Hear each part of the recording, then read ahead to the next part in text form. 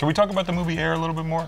Yeah. I want to know, did you study Nike a lot for that role as George Raveling? I had a small part, you know, and uh, so I, I, but there's no such thing as small parts, only small actors. So I did all my research.